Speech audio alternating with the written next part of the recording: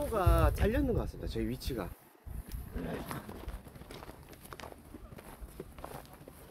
개화죠.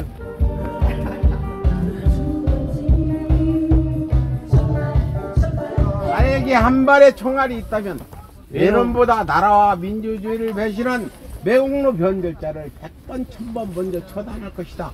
왜? 외론보다 더 무서운 적이니까.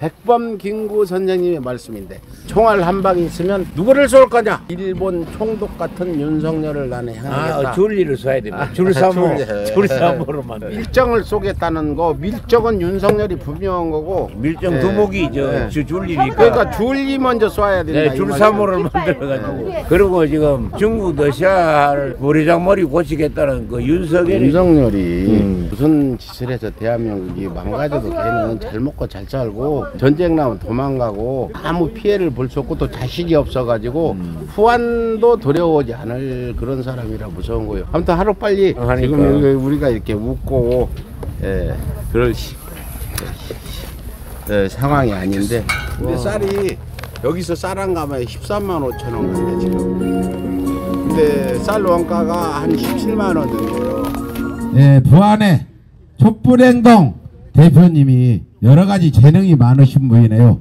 어, 저녁에는 우리와 함께 예, 동학혁명 예, 시발지가 된 예, 저쪽 그곳 고분면에 가가지고 예, 우리가 그쪽에서 햇불혁명을 완성시키겠다고 우리 독수리 삼총사 222살 먹은 독수리 삼총사가 거기서 기원과 함께 이번에 혁명, 햇불 혁명을 꼭 예, 승리로 이끌어야겠다는 결의도 했습니다.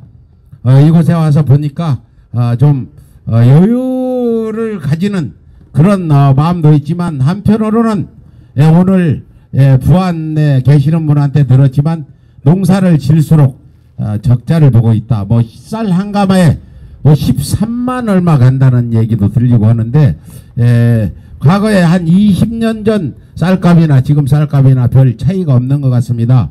이렇게 어려움에 처해 있는 농민들을 돌보는 게 정부의 책무임에도 불구하고 예, 윤석열 정부는 기득권 재벌들만 생각해서 농민들을 완전히 개두시로 무시하고 예, 지금 양곡 관리법 예, 거부권을 행사해서 예, 농민들이 앞으로 윤석열 타도에 앞장서리라 아, 봅니다.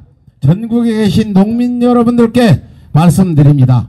윤석열 정권이 과연 농민을 위한 정책을 펼 수 있을까? 절대 펴지 않을 거라고 보고 예, 농민들이 과거에 서울 올라와서 저랑 예, 많은 집회도 하고 시위도 했는데 요즘에 농민들이 좀 어, 활동이 좀 뜸한데 너무 힘들고 어려워서 그러시겠지만 제가 수- 멀지않아 농민회장님을 한번 만나가지고 어떻게 해야 이 무지막지한 예, 윤석열을 끌어내릴 수 있을지 한번 고민해 보도록 하겠습니다. 예, 뒤에 보면은 예, 김구 선생님이 나한테 한 발의 종알이 있으면 예, 외놈을 쏘는 게 아니고 밀정을 쏘겠다 했는데 대한민국 밀정이 누굽니까? 예, 만약 저한테 한 발의 종알이 있다면 나는 이 종알을 윤석열 김기관이한테 겨누겠다 감히 말씀드리겠습니다. 그런 심정으로 저 외놈 밀정이나 다름없는 친일 무리 골수까지 꽉 찬 윤석열을 끌어내는데 농민과 도시민이 따로 있을 수 없습니다.